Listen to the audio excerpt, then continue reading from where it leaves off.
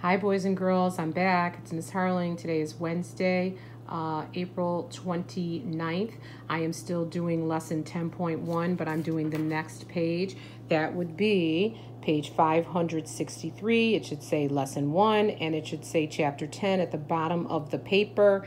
And at the top, I'm doing this page that says share and show. Remember, our learning target was I can determine the time to the nearest minute. I can determine the time to the nearest minute. So we're going to continue working on the clocks. Here's the next question for this page. It says, how would you use counting and the minute hand to find the time shown on this clock? Write the time. They're talking about this clock on the right-hand side of question number one. Here's the clock. We talked about this yesterday. You see that the shorthand is between the one and the two, and the longhand, which gives the minutes, is on the almost on the five. So we see here that uh, again, the hour hand is between the 1 and the 2. It is almost the 2 o'clock hour, but not quite. That's why the hand has moved slightly, but it's still in the 1 o'clock hour. As far as the minute hand, it's almost on the 5. I'll zoom in a little bit more so you can see it, and then my camera will adjust, I guess, a little bit so it's not so blurry. But it's almost on the 5, but not quite. So, again, the question was, how would you use counting and the minute hand to find the time shown on the clock? So as far as finding the time on the clock, again, I said it is the one o'clock hour. Now we just need to find the exact minute here. So remember we talked yesterday when you start at 12, you start with zero and count by fives until you get to the exact minute. So this would be uh, zero to one is five minutes. One to two is 10 minutes. Two to three is 15 minutes. Three to four is 20 minutes, sorry. And then if I go here, I stop about right there. So I'm not exactly at 25 minutes. So you can count the ticks. This would be 21, 22, 23, and this is 24. So right here would be 24. So what time is it? It's 124. So we're going to write that because they want to know what time it is. So go back to number one and please write 124. Okay, everybody see that? Now they want to know um, how did you figure that out? And we're going to write count by fives and ones. So we counted by fives and we counted by ones to find the minutes.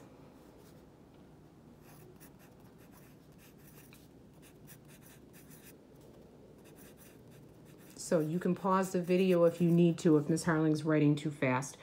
I wrote it's 124 and we counted by fives and ones to find the minutes. Now, if I go down to number two, it says write the time on these clocks and then write one way you can read the time. So if I go to this first clock, let's see what time it is. It is almost three o'clock. That's why the shorthand, the hour hand, is almost touching the three, but it's not quite three o'clock yet. So if we count by fives, we can find out uh, how many minutes have gone by, but it is still the two o'clock hour. So starting at 12, starting with zero and counting by fives. 5, 10, 15, 20, 25, 30, 35, 40, 45, 50, 55, and if I zoom in a little bit, it's a little past that, and that would be 56. So it is 256. And if I wanted to write that, because it says write it and read it, we read it as 256, I could also say it's four minutes before 3. Because don't you notice it's almost 3 o'clock? So in four minutes, it will be three o'clock. All right, look at number two. Again, we are going to write the time and then write one way to read it. Again, if I look at the shorthand that gives me the hour, it's a little past the six. It's not really that close to the seven, so it is still the six o'clock hour. So what I'll do here is write six. Now we got to figure out the minutes. Again, if I start at 12 and start with zero and count by fives and then count to the exact minute, I will know how many minutes have gone by the six o'clock hour. So this is zero, five, 10, 15. And then if I zoom in, I'm going to do 16, 17. So how many minutes have gone by? 17 minutes. So I'm going to write that after my semicolon. And now another way to write that would be 17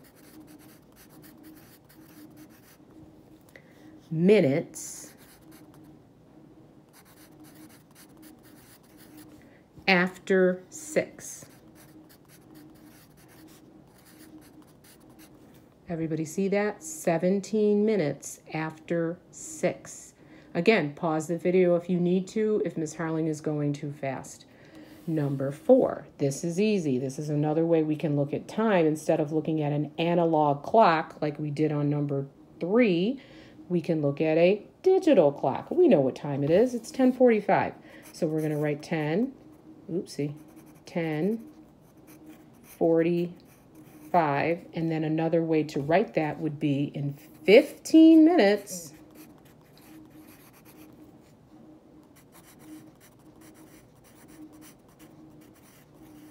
It will be what time? 11. So 15 minutes before 11. That's just another way you could say it. If someone asked you, what time is it? You could say 15 minutes before 11, or you could say it's 1045. They're both the same. Now let's go to on your own. What I'd like you to do right now is try five, six, and seven on your own, okay? and I'll give you a few minutes to do that. Or I'm just to wait a few seconds and then I'm to show you the answers. Five, six, and seven.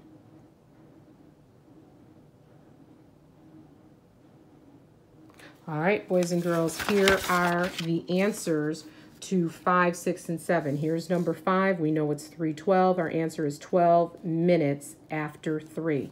Number 6, we know it's 1048. You're counting to the exact minute. Okay, the minute hand is on one of the minutes. And another way to write that would be 12 minutes before 11. Number seven, the answer is 610, or you could have written 10 minutes after 6. So again, um, let me go back to that so you can write it down. Number five, 312, 12 minutes after 3. Number 6. What time is it? 1048. 12 minutes before 11. Number 6. What time is it? 610. What can we write? 610 as a digital time and then 10 minutes after 6. Okay? Again, you could have paused the video to make sure you had those written in. Now I'm going to go down to number 8, 9, 10, and 11. And here's what it says. Represent a problem, and it says write the time another way. So here for number 8, it says 34 minutes after 5. What time is that? 5.34.